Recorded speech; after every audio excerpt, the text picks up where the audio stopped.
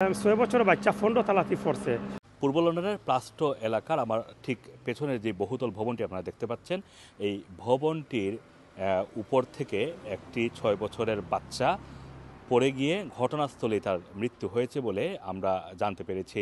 ঘটনাটি ঘটেছে আজকে সকাল ষোলো মে, বৃহস্পতিবার সকাল পাঁচটা আটান্ন মিনিটের দিকে এবং তারপর পরই পুলিশের কাছে কল যায়। পুলিশ এবং প্যারামেডিক্স এসে ঘটনাস্থল থেকে বাচ্চাটির মৃতদেহ উদ্ধার করে।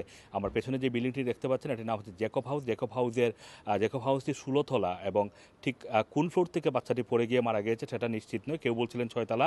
আমাদের কাছে একজন প্রত্যক্ষদর্শী যিনি এই ভবনের ঠিক উল্টো দিকে থাকেন, একজন বাংলাদেশি, তিনি এই ঘটনা মানে সকাল ছয়টা থেকে তারা কি অবলোকন করেছেন, কি দেখেছেন, সেটা আমাদের কাছে বর্ণনা করছিলেন।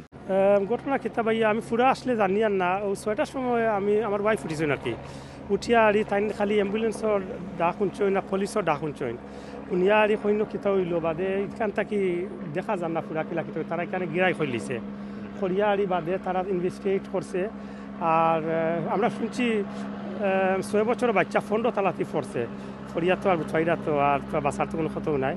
তো এখন পর্যন্ত আর কি অনেক মানুষ আপনার তারা ইয়ে করে ইনভেস্টিগেট করে, অনেক পুলিশ আইসে all this people crime scene etcetera তারা আইসে আইয়ারি তারা ইতা এই সমস্ত দেখে রাখি কোন কারণে কি লাখিত হইল অনেক সাংবাদিক হলো আইসেন তো ইতা ঘটনা উঠছেন রিয়েলি সাড ইতা উঠছে নানি আমরা শুনিয়া অবাক কোন দেশে জানেন আহ, সোমালিয়ান মনে হয় কারণ সোমালিয়ান আপনার অনেক মানুষ দেখি আর আপনার এখানে তারা আর দেখবা লাগে বুঝছেন পুলিশের স্টেটমেন্ট ব্রিটিশ গণমাধ্যম সব কিছু থেকে আমরা যেটা জানতে পেরেছি যে এই ভবনের, বহুতল ভবনের উপর থেকেই পড়ে গিয়ে সেই বাচ্চাটি মারা গিয়েছে। বাচ্চাটির মৃত্যুর কারণ সম্পর্কে এখন পর্যন্ত জানা যায়নি মানে আনএক্সপ্লেইনড বলে মন্তব্য করেছে পুলিশ। এটি নিয়ে তদন্ত চলছে। আমরা যখন ঘটনাস্থলে এসে পৌঁছাই, তখন ব্রিটিশ গণমাধ্যমের গণমাধ্যমগুলো এখানে ভিড় জমিয়েছে। তারা এখানে ক্যামেরা নিয়ে বা তারা, তাদের যে রিপোর্টার তারা কাজ করছিলেন।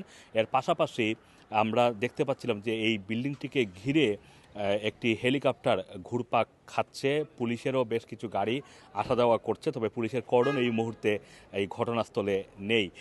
এখানে অনেকেই এসে সেই ঘটনাস্থল ভিজিট করছেন, তারা ফুল দিয়ে যাচ্ছেন।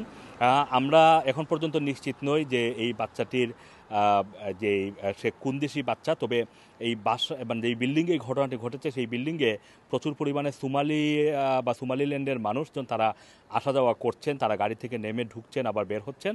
এতে বোঝা যাচ্ছে যে এই বাচ্চাটির এথনিক মানে তার ব্যাকগ্রাউন্ড হচ্ছে সোমালিয়া বা সোমালিল্যান্ড বা ওই অঞ্চলের। এবং যারা বের হচ্ছেন, আবার বাসায় ঢুকছেন এবং বের হচ্ছেন, তারা কথা বলছেন না গণমাধ্যমের সাথে।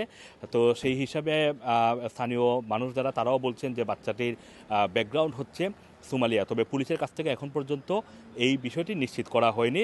এখন পর্যন্ত মৃত্যুর কারণও নিশ্চিত করা হয়নি। কীভাবে সে উপর থেকে পড়েছে, সেটাও কিন্তু বোঝা যায়নি। তবে এই বিল্ডিংটি আমরা দেখতেছি যে, বিল্ডিংয়ের যে বেলকনিগুলো, সেই বেলকনিগুলো কিন্তু তারের বেড়া দিয়ে প্রত্যেকটা বেলকনি বেষ্টিত করে রাখা। ঠিক এরকম অবস্থার ভিতর থেকে কীভাবে বাচ্চাটি পড়েছে, এটাই এখন সবচেয়ে বড় প্রশ্ন। আসম মাসুম। Rana TV London